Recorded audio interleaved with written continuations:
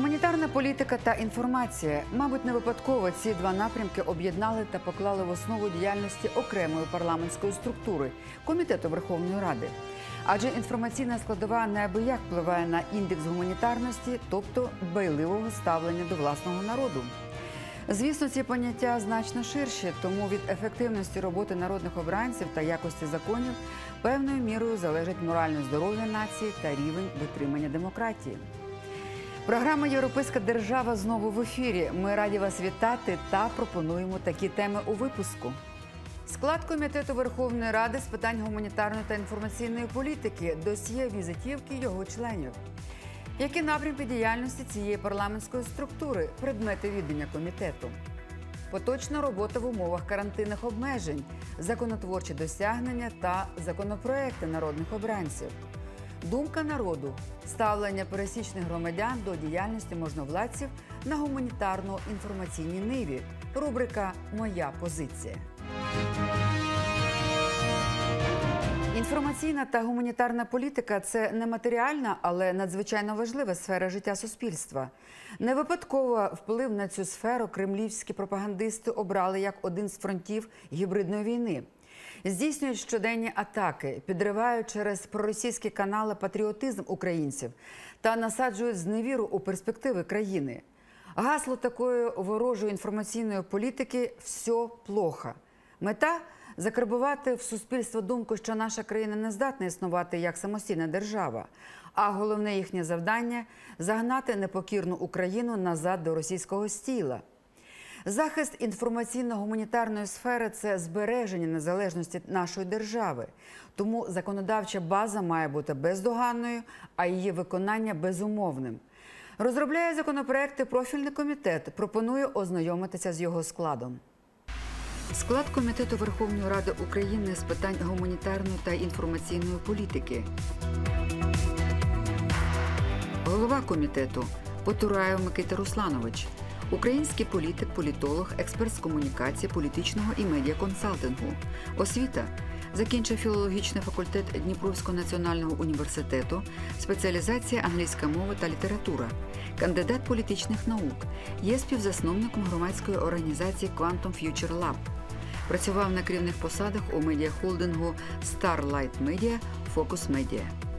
Раніше обіймав посаду першого заступника голови Національної ради України з питань телебачення і радіомовлення, радник президента України Володимира Зеленського з політичних питань, член депутатської фракції політичної партії Слуга народу.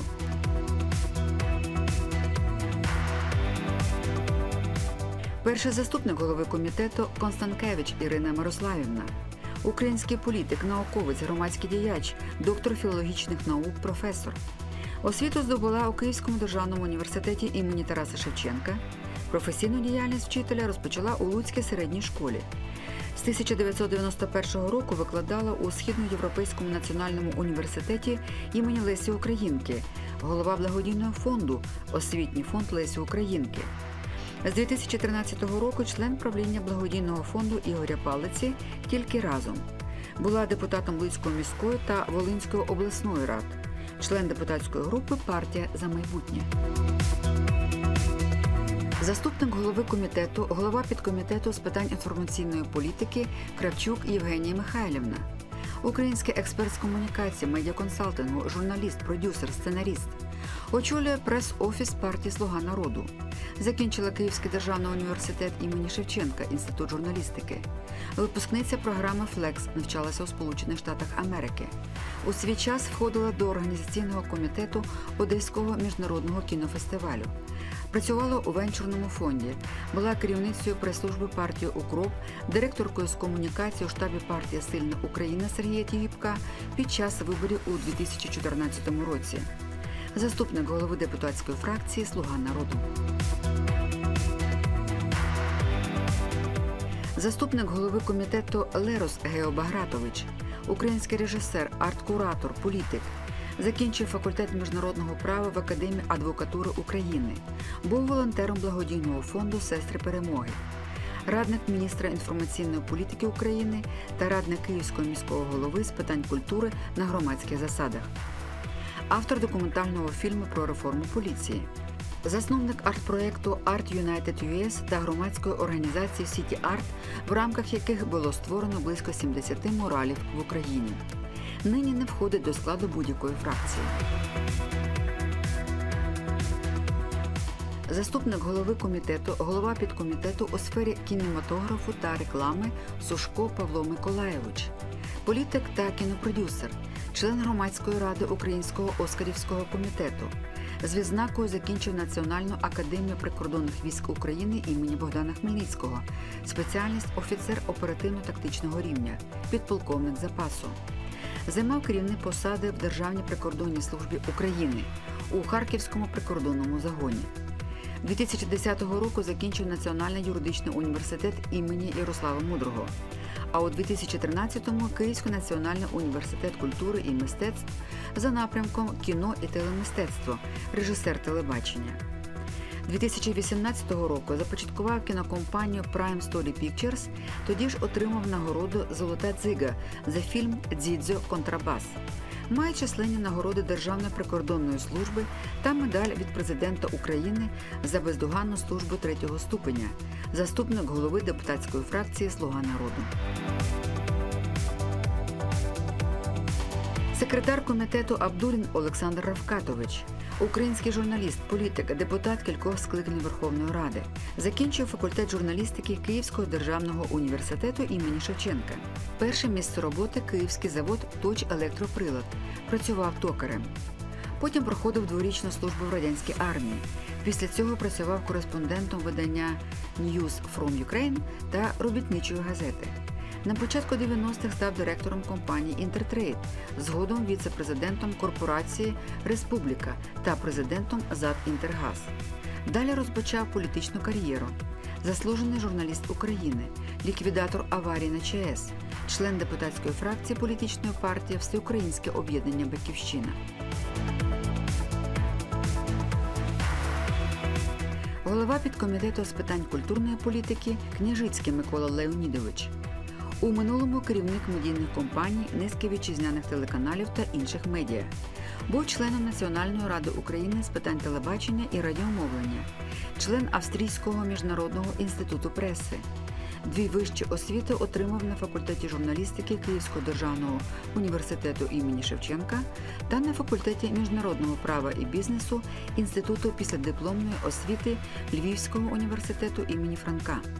Проходив строкову службу в армії.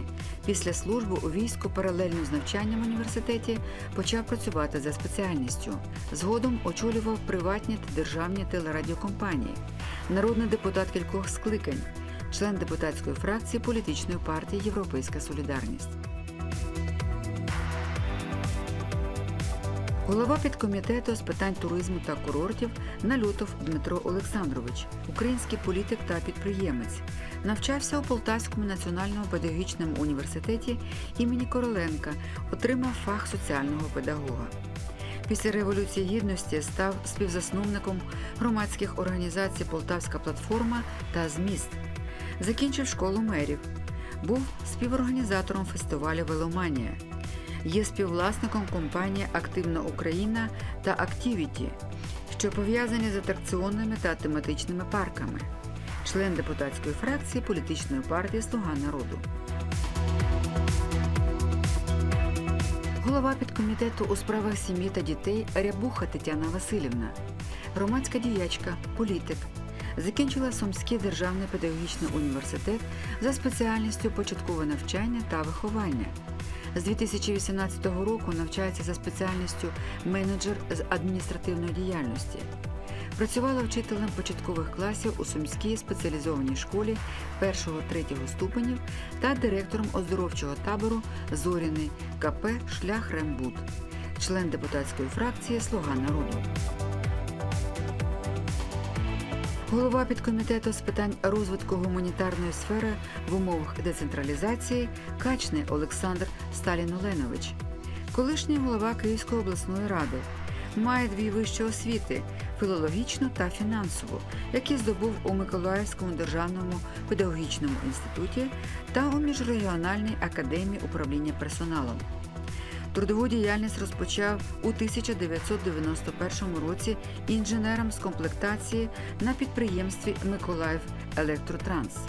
Його трудова діяльність була пов'язана з рибним промислом, переробкою, транспортуванням та експортом готової продукції. Неодноразово очолював підприємства, пов'язані з рибним господарством. На попередніх місцевих виборах очолив список опозиційного блоку до Київської обласної ради та був обраний депутатом. Нині член депутатської фракції політичної партії Опозиційна платформа за життя у Верховній Раді.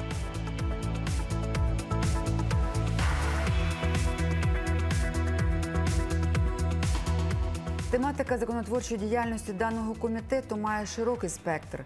Вона охоплює різноманітні сфери суспільного життя. Наприклад, в розробці самим комітетом або у пропозиціях до інших такі законопроекти, як про всеукраїнський перепис населення, про підвищення державної допомоги сім'ям з дітьми, які постраждали внаслідок бойових дій чи збройних конфліктів, та дітей-сиріт. Проект закону про працю, внесення змін до закону про телебачення і радіомовлення, про рекламу, про забезпечення відкритості інформації щодо розміру оплати праці в державних компаніях, закони для сфери туризму, культури та багато інших. А от безпосередньо щодо предметів відання комітету далі у програмі. Предмети відання Комітету Верховної Ради України з питань гуманітарної та інформаційної політики, культурно-просвітницька діяльність, культурно-мистецька діяльність, медійна індустрія,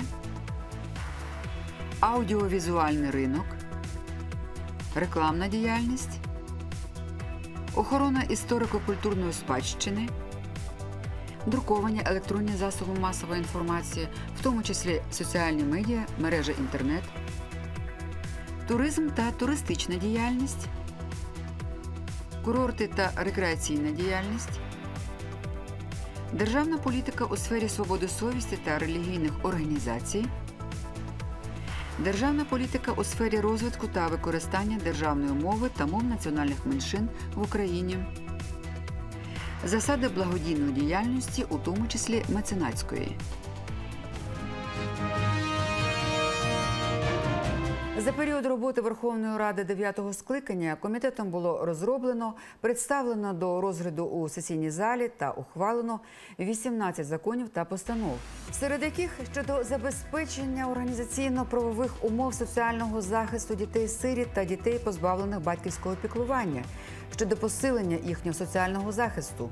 Закону про систему іномовлення України щодо програмної політики та території розповсюдження, про державну підтримку кінематографії в Україні, внесення змін до деяких законодавчих актів України щодо державної підтримки сфери культури, креативних індустрій, туризму, малого та середнього бізнесу у зв'язку з дією обмежувальних заходів, пов'язаних із поширенням коронавірусної хвороби. Та разом з тим наявність існуючої законодавчої бази все одно не відповідає поточним потребам. Стрімкість та непередбачуваність сучасного життя випереджає можливості законотворців та виконавчих гілок влади не тільки в нашій країні. Світ лихоманить від вірусних, політичних та економічних хвороб. Але якщо звузити погляд від проблем планетарного масштабу до потреб конкретної людини, хаос та розпач зменшується, бо стає зрозумілим, із сукупності індивідуальних думок складається чітка суспільна вимога, і до неї варто прислуховуватися. Настав час рубрики Моя позиція, і я передаю слово Юлії Кулініч. Людина найвища цінність нашого суспільства. Враховуючи це, комітет з питань гуманітарної та інформаційної політики доклав всіх можливих зусиль, щоб підтримати в 2021 році культурну індустрію, а це і збереження надбань, їх осучаснення, створення туристичних магнітів, а також додаткове фінансування інституту книги, підтримки кінематографії. Тож сьогодні в програмі Моя позиція ми дізнаємося, чи задовольняє пересічних громадян гуманітарна політика держави та що б вони змінили в українських змі.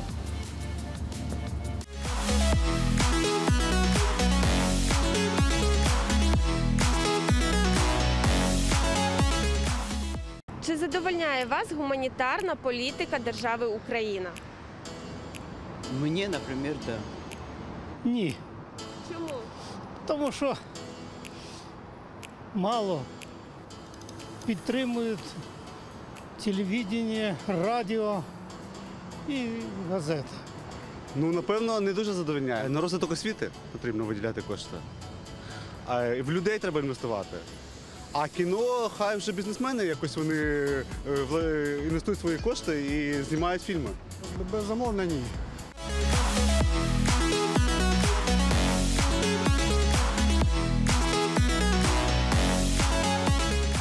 Що би ви змінили в українських засобах масової інформації? Программы показывают страшные вещи. Бесконечно одни убийства, как ни посмотри, какой фильм, так и убийства. Как, ш- ну, вообще это жуть. Смотреть нечего. Ищешь старые фильмы, которые о добре, а- а, м, хорошие, ласковые, ну, я не знаю, добрые фильмы. Маємо нова інформація. То тут фейки вони йдуть, всі. Інформаційна російська війна саме головне. Головний фактор нашого життя. Складне питання. Я не можу відповісти. Я не спеціаліст. А тут нічого не зміниш, все нормально. Тобто є ринок, розумієте? Тобто такі е, постаті, як е, Шарій, вони мають бути, тому що ми задумуємося.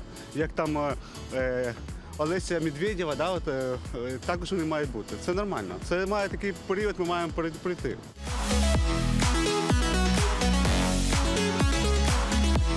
Урядовці ухвалили рішення про продовження адаптивного карантину до 31 грудня 2020 року, але й ввели нові обмеження на проведення масових заходів.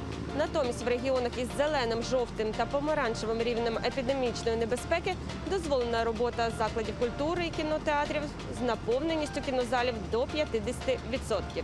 Хочеться нагадати, що праця особи, що пізнала смак інтелектуальної творчості, далеко продуктивніша ніж того, хто не має такої спокуси. Бо розум, знання це найбільша сила, найміцніша влада і найвища посада. Тож я бажаю, аби ми усі більше читали книги, відвідували музеї, ходили в кіно, театри. І це буде найкращий показник розвитку українського суспільства. Сьогодні у мене все. До зустрічі в наступній програмі. Нещодавно за ініціативи Міністерства культури та інформаційної політики України в рамках національного культурного діалогу відбулася важлива подія зустріч інтелектуалів, академічної спільноти та громадянського суспільства. Точилися дискусії навколо найбільш чутливих тем: мова, релігія, філософія щастя та екологія. Також в рамках проекту передбачається проведення сімох круглих столів у різних містах України: Києві, Одесі, Харкові, Чернівцях, Острозі, Кривому Розі та Полтаві. Місто Харків не випадково було обрано для проведення заходу, присвяченого мові, тому що це не тільки місце, де була проголошена Українська Народна Республіка, а й місто, з якого у свій час розпочиналася українізація. Відкривав захід міністр культури та інформаційної політики Олександр Ткаченко. Прошу цитату з його виступу. Коли я їхав сюди до Харкова, мені хтось подарував перший закон уряду УНР, який стосувався закону про державну мову. Він від 1 січня 1919 року. У мене таке враження, що з приводу закону ми й сперечаємося з 1 січня 1919 року. Тобто з'ясовуємо, яка мова є панівною в Україні вже більше століття. Коментарі зайві. З вами була творча група програми Європейська держава і я Наталія Уманець. Бажаємо всього найкращого, а головне міцного здоров'я. Бережіться, до зустрічі.